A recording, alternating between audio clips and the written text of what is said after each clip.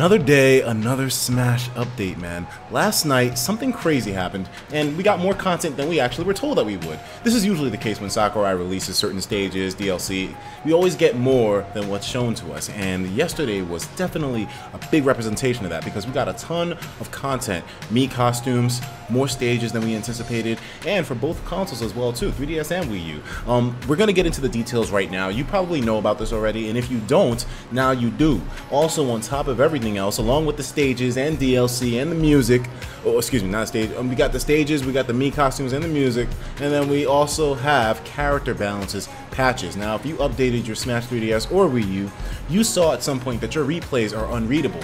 That's because, you know, whenever that happens, you know for a fact that it's due to characters being balanced. So, um, we're going to go into more of the details with that. Um, I read through a lot of the information myself, so I know all of it, so I'll be able to tell you ahead of time. But there's also a trailer that was released too for the DLC patch that dropped yesterday. So let's see everything in full detail. I didn't watch this yet, so of course, first time reaction, boys.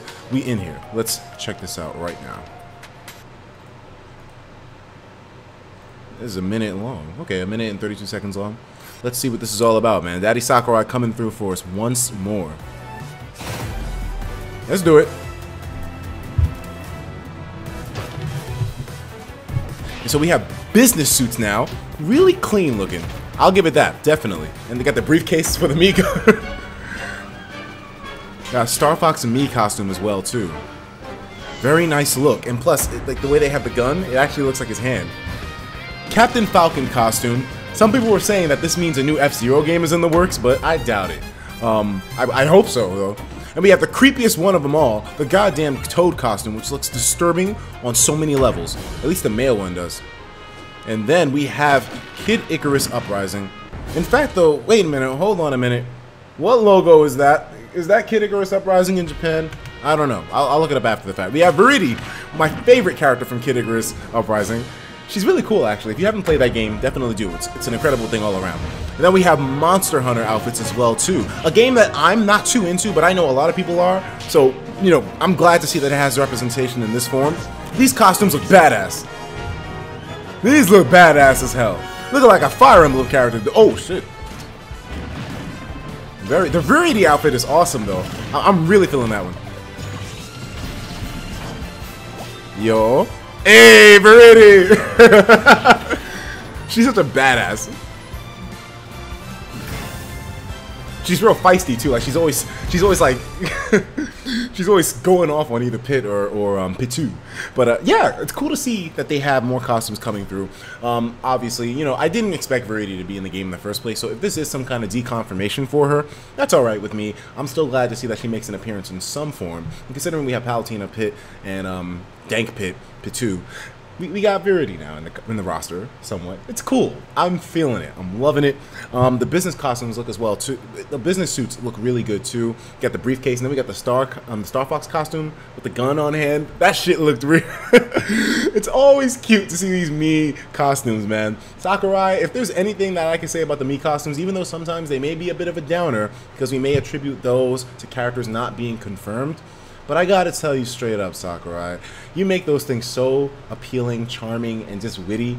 I, I can't, I can't not love them. I, I, simply can't. So a ton of Mii costumes now, by the way. Just looking at these thumbnails for the videos that have previously been released for DLC patches, we got a lot of goddamn costumes. So a lot of variation. Monster Hunter ones as well too. For you dudes who are big fans of that, I know I have a lot of Monster Hunter people on my channel. And also, on top of everything else, this update did come with patches to certain characters, certain little things. Now, this one wasn't as major as the last patch, which changed a bunch of characters, but I know certain characters like Luigi, his down throw got nerfed, so a lot of people are happy about that. Um, Sheik wasn't really touched too much. Um, in fact, I don't think she was touched at all. The main focus that this update seemed to address were a lot of the custom moves. So, you won't see your character touch too much if you don't play customs. So this is not really that heavy of an update in that regard. Robin didn't get buffed, sadly, but there were, there were some changes that were made. If you want to see any of those, there will be a link in the description as well, too, linking you to a Smashboards thread that will keep you updated as this information is found out. Consider the fact that this happened last night, only a few hours ago.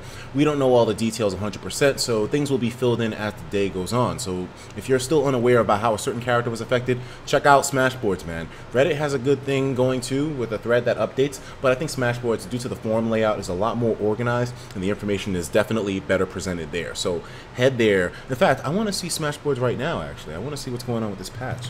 Smashboards patch. Um, I'm not sure what number this is. Does it say it in the video? Does it say it in the video? Nah, it doesn't say it here. Um, let me see.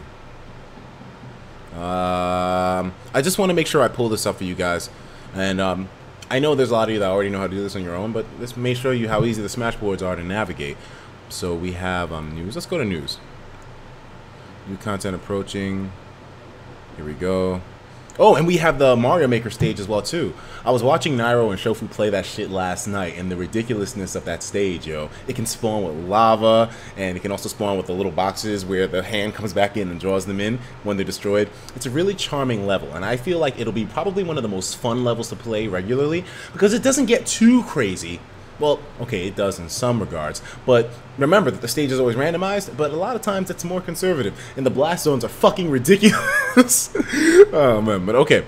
Let's see, let's see. Um, balance changes made. Every character got at least, and yup, every character got at least one balance change too. And um, RandomTalkingBush, man. Big shout out to this dude. I'm not following him. This guy, um, RandomTalkingBush is actually a big name in the game as well too. He's hacked the game previously. He's found certain files and whatnot. So really cool. Let me see. Um, I'm not sure where the um, thread is that showed all the changes made.